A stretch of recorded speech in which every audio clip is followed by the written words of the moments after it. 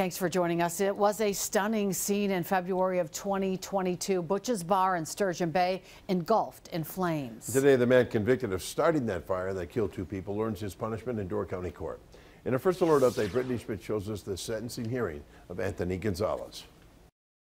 Six year old Anthony Gonzalez walked into a Door County courtroom facing the possibility of 70 years behind bars.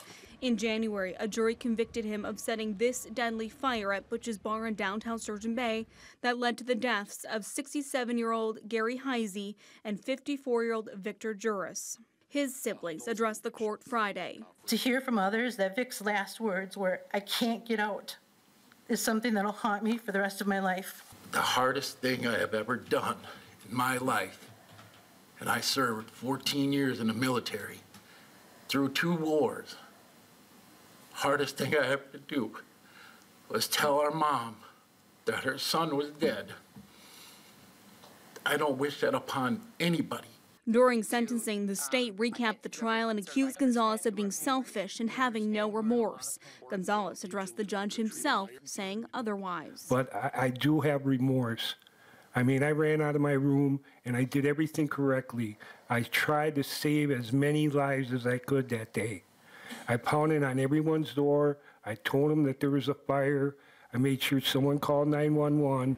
I went down and even let Clarence know that there was a fire upstairs.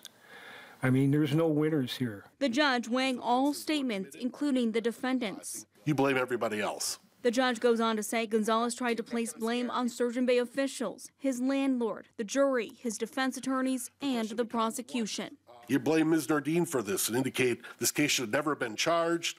Uh, and in Milwaukee, uh, and I find this statement to be very troubling, that you would have been a hero. Uh, you- you're no hero, uh, Mr. Gonzalez, but you believe you were a hero uh, for your efforts to fight the fire and warning and trying to get people out. The judge sentenced Gonzalez to 15 years in prison, followed by 15 years of supervision. I praise God. I got something else I'd like to say. No, no, we're done, sir. We're done.